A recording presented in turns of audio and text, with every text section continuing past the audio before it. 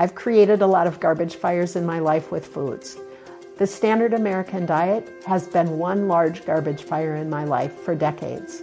I thought I could live in moderation with this food, but it turns out I couldn't.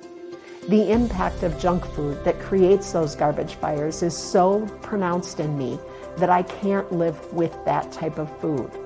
That type of food creates agitation in my system. It burns explosive and strong. It makes me want more and more of that food. It makes me overeat. It makes me binge.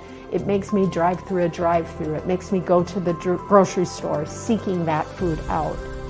It makes me look forward to events, not for the people, but for the foods.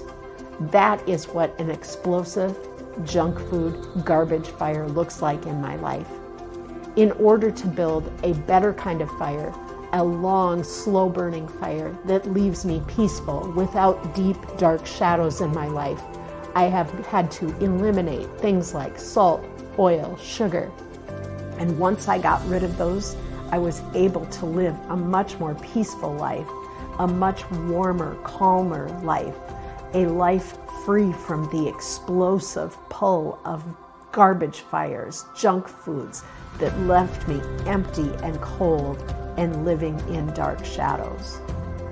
So if you want to find the light, you too might find your light in a slow burn fire of healthy, unprocessed plant foods that leave you calm and warm all day long.